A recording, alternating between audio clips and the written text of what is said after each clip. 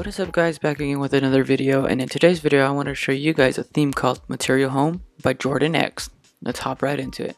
With this theme, this theme is going to be a simple theme. It's only a four page theme. But the animations are pretty nice and I do enjoy using this theme. Up top we do have a home, weather, music, and news tab. Underneath that you do have the wallpaper with your 5 most used apps at the bottom. Unfortunately, these apps are static and you cannot rearrange them to your liking. Then you have your date and time at the very bottom. And to the right of that, you do have another window that pops up with some other useful information and widgets.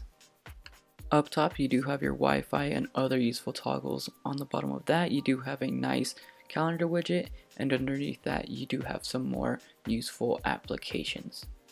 Scrolling to the right, you do have your weather information and if you click that you get the same thing as you did on the last window, showing you some more detailed information about the weather. Scrolling to the right, you do get a generic music player and to the right of that you do get your news. So that's pretty much this whole theme. The theme is pretty simple and it is pretty nice. The animations are nice as well. Like I said, it is a simple theme, but still with it being a simple theme, it is a very nice and elegant theme. If you guys have any other questions or any concerns, go ahead and leave a comment down below. If you guys did enjoy the video, hit that like button. And if you guys want to see more, hit the subscribe button. We'll see you guys later. Peace.